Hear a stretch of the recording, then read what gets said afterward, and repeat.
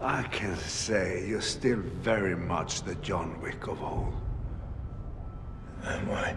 Welcome to Watch Mojo. And today we're counting down our picks for the most fearsome and cool characters who took the law into their own hands. I don't have anything better to do with my money.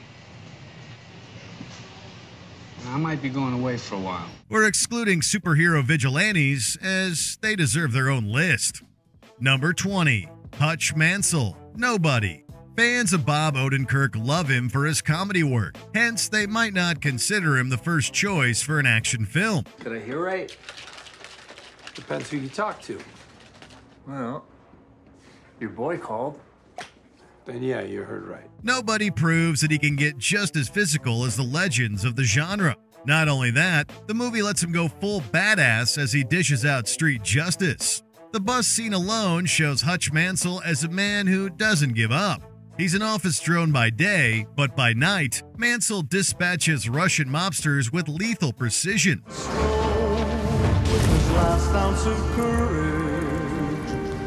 Despite his unassuming facade, few realize he's a full blown assassin capable of tearing through hordes of assailants. Odenkirk sells a dynamic role with a raw and confident performance. Number 19 Walker, Point Blank. After completing a robbery, Walker is betrayed by his partner Mal Reese and wounded. The anti hero then spends the rest of the movie hunting down Reese. Lee Marvin's portrayal of Walker doesn't feature much dialogue, yet it exudes just as much menace as the most revered cinematic villains. Where's Reese? His unstoppable energy propels him through his enemies at a remarkable speed. Armed with his trusty revolver, Walker is the last person you'd want to appear at your door. He also uses various methods to get answers that show he's as smart as he is physically gifted. You don't know who you're dealing with. Listen to me. I want my money in 12 hours. I'll tell you where to make the drop. If you don't, you are dead. The moral of the story don't steal from a professional thief and expect to get away with it. Number 18 Erica Bain, the Brave One. Erica Bain undergoes a profound transformation, going from a radio host to a vigilante after three men tragically murder her fiance. You had the service? They didn't know when you were going to wake up. If you were going to wake up. You were gone for three weeks. You had to let him go. By the end of the film, she becomes something much closer to Travis Bickle. Bain buys a gun on the black market and takes it upon herself to rid the city of crime. This includes tense scenes and confrontations that prove the woman is a stone cold killer.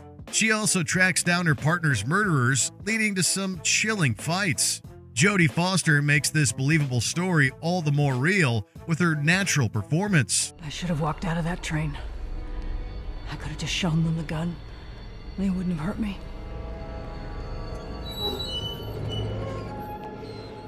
Why don't my hands shake? Why doesn't somebody stop me? Her character is able to channel her anger into a deadly skill, proving that some people shouldn't be underestimated. Number 17 Charles Rane, Rolling Thunder. Upon returning from Vietnam, Charles Rane is rewarded with silver dollars and a car for his service. Robbers take this as an opportunity to rob Rane, injure him, and kill his family. Now, you are going to tell us where that money is sooner or later. I would suggest sooner. Because later may be too late. Motivated by vengeance, the veteran dons a hook for a hand and seeks out the assailants. William Devane plays the hero with a subdued personality that can explode at any point. This makes him even more dangerous as he contemplates how he's going to exact his revenge. With the help of his military buddy, Rane finds the culprits in a brothel and wreaks havoc. The harrowing finale serves as a stark reminder to never mess with someone who has military experience. Number 16 Machete Cortez, the Machete franchise. Starring in two films as the titular character, Danny Trejo oozes coolness as Machete Cortez. The first entry follows his plot to take revenge on his former partner. The honorable way to die is to cut off your head. Well But You don't deserve to die honorably. For this, Cortez employs a range of inventive and violent methods, showcasing the vigilante's prowess in defeating villains without skipping a beat. His ability to pull out somebody's guts might just be the craziest part of his adventures. In the sequel, despite surviving a hanging, Cortez persists in his quest for vengeance. He proves time and time again that he defies the odds and can't be easily killed. Like your style, low tech, but this ain't your mama's cane cutter. Throughout both films, Trejo's edgy performance infuses every scene with a gritty, tough guy energy. Number 15, The McManus Brothers, The Boondock Saints. After running afoul of the Russian mob, these unlikely heroes start to clean up the streets on their own. Sort of like 7 Eleven.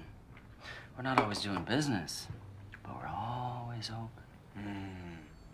That was nicely put. Their personal brand of morality involves gunfights, prayers, and outlandish plots to dish out justice. Despite their faults, Connor and Murphy McManus managed to do it all in style. They're badass without even trying, bringing together a swagger and devil may care attitude that you can't buy. The siblings even cauterize their own wounds in a scene that shows how tough they can be.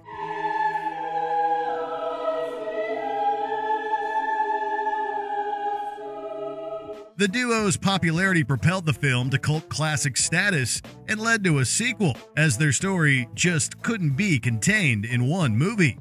Number 14 Clyde Shelton, Law Abiding Citizen. When the justice system fails him, Clyde Shelton takes matters into his own hands. Remember me?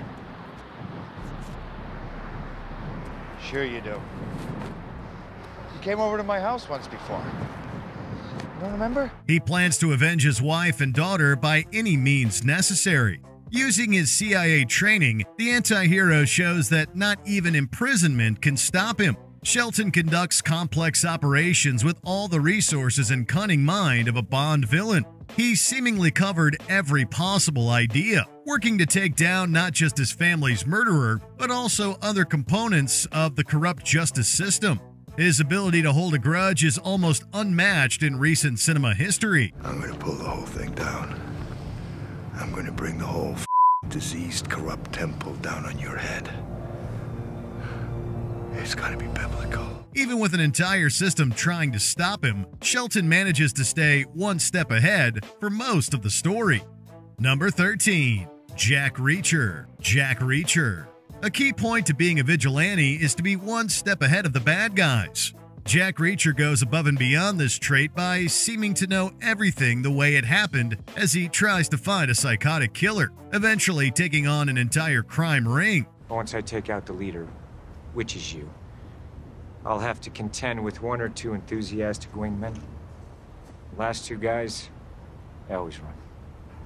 Well, you, uh, you done this before? Although he only really becomes a vigilante at the end of the first Jack Reacher film, he uses his military know how and the character's own psychologies against themselves. If she doesn't answer the phone when I call this number, if I even think you've heard her, I disappear.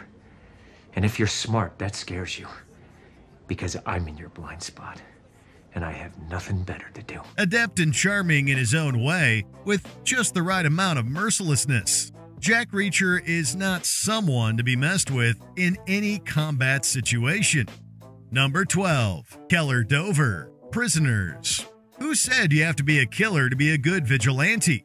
Such is the case for Keller Dover, who goes beyond the law to find his missing daughter. What did you say? Well, no, no, no! Using his handyman skills and an empty building willed to him by his father, Keller devises disturbing torture contraptions that don't fare well for the prime suspect in the kidnapping. While we can remain empathetic towards Keller for trying to find his daughter and right some wrongs, the flip side to his personality makes him all the more disturbing, and we can't help but want to distance ourselves from his dark deeds. He's not a person anymore. No, he stopped being a person when he took our daughters. Number 11, Bryan Mills, The Taken franchise. One of modern action film's chief vigilante characters, this former CIA operative with a particular set of skills has transcended pop culture and turned his character into a memorable and quotable hero. But if you don't, I will look for you I will find you. And I will kill you. Known for slamming bad guys' heads into solid objects after already delivering a savage beating, Mills relies on previous combat experience and just about any grabbable object to dispatch his enemies in a calm and calculated manner. Leaving many bodies in his wake, Bryan Mills strikes fear into the hearts of assassins, kidnappers, corrupt law officers, and pretty much anyone who dares to mess with his family over the course of the franchise. This is gonna end bad for you. Don't be such a pessimist. Number 10, Shoshana Dreyfus, Inglourious Basterds. Let's hear it for the ladies. This movie vigilante gets points for the most creative method of vengeance, using flammable film reels to get the literal last laugh on the entire Nazi command. Oui, Shoshana.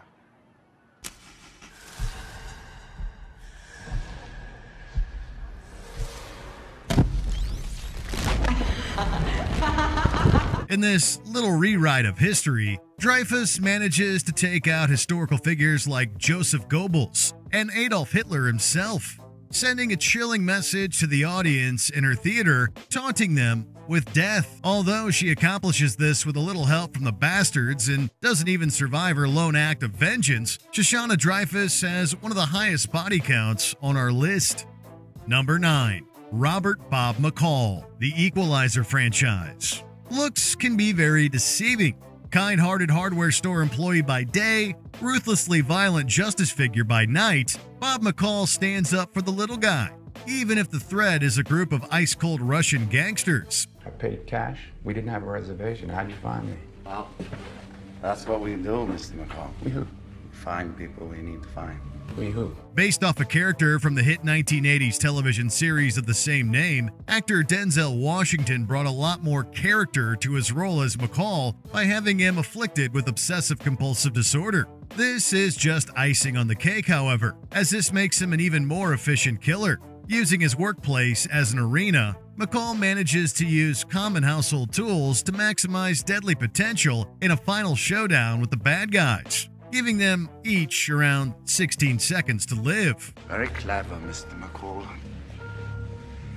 I decided to come and see you. Yeah? I'll be waiting for you. Number 8. William Munny, Unforgiven. When you learn about outlaw William Munny's background, it's evident that he's far from a saint. His violent past catches up with him when he reluctantly takes on a job to hunt down people again. If they done you some wrong, I could see shooting them. We done stuff for money before that. Yeah. We thought we did. Once his partner Ned is killed by corrupt Sheriff Little Bill Daggett, Munny seeks revenge of his own and confirms how badass he really is. The man enters a bar and fires at several people, later shooting Little Bill without thinking twice. Killed just about everything that walks or crawls at one time or another. And I'm here to kill you, Little Bill. What you did to Ned. Even if he has any traces of remorse, he barely shows it in a hardened exterior. Clint Eastwood delivers a stellar performance throughout the film, lending his character a level of ruthlessness rarely seen in a Western. Number 7. The Driver Drive. Ryan Gosling took the action world by storm in Nicolas Winding Refn's 2011 art house hit Drive. As mysterious as he is unpredictable, this nameless vigilante is willing to sacrifice everything he has to ensure a woman and her son are never bothered again by a heartless gangster. I want to give you a time and a place, and you're going to come and get it. Do you understand? And what do you get out of it? Just that. Out of it. Adhering to strict rules as a getaway driver and never claiming to be a professional at what he does, the driver manages to always get the upper hand when the tables are turned against him, putting him one step ahead of the bad guys even when he is the one being chased down. You know the story about the scorpion and the frog. Your friend Nino didn't make it across the river. I think this has gone on long enough. Let's just say we would never want to be trapped in an elevator with this guy. Number 6. John W. Creasy, Man on Fire. leave it to Denzel Washington to bring pathos to his vigilantes. Much like the Equalizer's Bob McCall, Washington's portrayal of ex military hero John Creasy is loaded with character flaws that either put him on equal footing or one step beyond those who have wronged him. La iglesia dice que hay que perdonar. Forgiveness is between them and God. It's my job to arrange the meeting. John Creasy works his way up the Mexican criminal food chain in order to rescue the girl he was hired to protect, racking up an impressive body count along the way. As he targets his victims, Creasy ensures that their deaths become more and more elaborate, yet is professional enough to ensure that nobody is caught in the crossfire. What are you gonna do? What I do best. I'm gonna kill him. Anyone that was involved, anybody who profited from it, anybody who opens their eyes at me. Did we mention he does all this while mortally wounded? Yeah, he is that good. Number 5. V. V for Vendetta. Not quite a superhero, but definitely on the same level, this mysterious character is both theatrical and sympathetic while also being sadistically violent and merciless. People should not be afraid of their governments. Governments should be afraid of their people. After an alliteration filled introduction, V takes on a dystopian government by encouraging the people of Britain to rise up against the oppressors. Never taking credit for his own actions, he proves to be more an idea of vigilantism than an actual manifestation of it. Beneath this mask, there is more than flesh. Beneath this mask, there is an idea, Mr. Creedy. And ideas are bulletproof. With an interesting backstory and an anti fascist agenda, these choices, dispatching his enemies, border on the quiet and painless to the psychologically devastating. Either way, he gets the job done in stunning fashion. Number 4. Paul Kersey, the Death Wish franchise. A household name in vigilante lore, Paul Kersey is an unbridled force to be reckoned with once his ability to kill is awakened. Starting off as a tragic anti hero in the first Death Wish film, Kersey gradually became the face of justice in four more sequels with more ridiculous bad guys and bigger guns. Needless to say, Kersey's story in the first film put many filmgoers' greatest anxieties on screen when it came to dealing with inner city violence and urban fear. The actions of the vigilante, as lawless as they may be, seem to be giving others new attitudes toward crime in the streets.